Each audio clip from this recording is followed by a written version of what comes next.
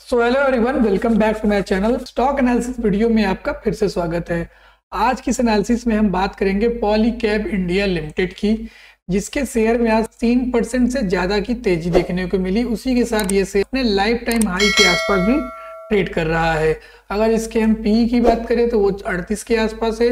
तो चलते हैं इसके चार्ट पर अब देखते हैं हमें कहाँ पे हम नई एंट्री ले सकते हैं। तो अगर चार्ट पर देखें डेली टाइम फ्रेम का चार्ट देखें, ये अभी अपने रेजिस्टेंस एरिया में आ चुका है।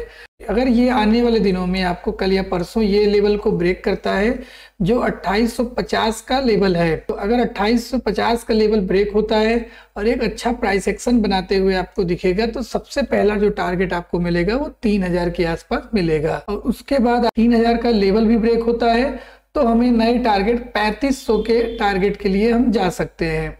ऐसे ही एनालिसिस देखने के लिए चैनल को सब्सक्राइब कर ले और बेल आइकन को दबाना ना भूले। Thank you